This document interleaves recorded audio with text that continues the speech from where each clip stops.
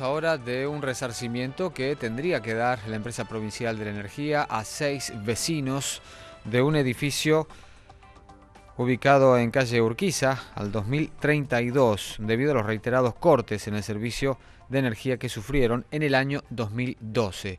Se habla de unos 500 mil pesos. Todavía puede apelar la empresa, pero en principio ese sería el monto que tendrían que pagar. La jueza en lo civil y comercial, Susana Geiler, fijó una indemnización para los vecinos de 370 mil pesos por los reiterados cortes, por el suministro deficiente.